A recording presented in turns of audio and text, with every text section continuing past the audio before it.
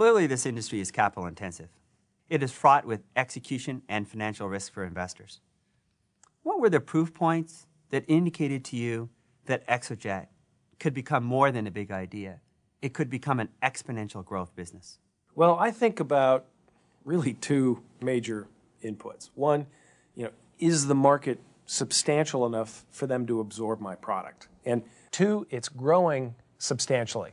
You want to build a business, you do it in a growing market. Uh, third uh, point, I look at the scalability of our model. Um, can I duplicate and grow this model um, easily and efficiently? And that is critical. Uh, so I take those three inputs, and it is very easy to foresee us becoming a billion dollar company. Treating your business as a system is a big insight. In fact, you might even call it a billion dollar secret. In this market, you're one of the first to bring a systems approach to corporate jet travel. What are the management techniques that are allowing you to blaze this trail? You know, it's interesting uh, building a business like this because uh, you're putting an enormous amount of capital to work very quickly. And so people really want to understand does it work or does it not work before you go put a half a billion dollars worth of capital at an idea. It's not like software technology, a couple of engineers see how it works. You know, you actually have to go buy, you know, 50 airplanes or 100 airplanes and plunk down a billion dollars to see whether this works.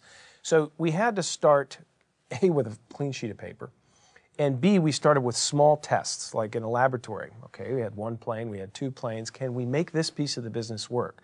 And once we got those proof points, we were then able to justify and substantiate the next phase of the business, which allowed us to buy five or six or seven airplanes.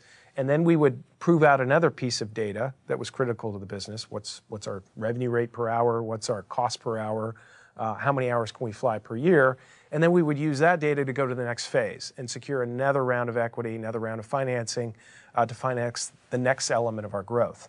So you had to start with, you know, a clean sheet of paper, extend that into a laboratory test case of, you know, how the business might work, then extend that into a larger test case, and then into a full-fledged company where we raised about $540 million and then ordered about $2.6 billion worth of equipment.